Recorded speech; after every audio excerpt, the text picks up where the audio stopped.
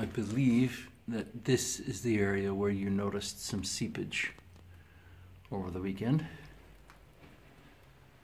And it appears that whatever problem existed at the time has resolved itself.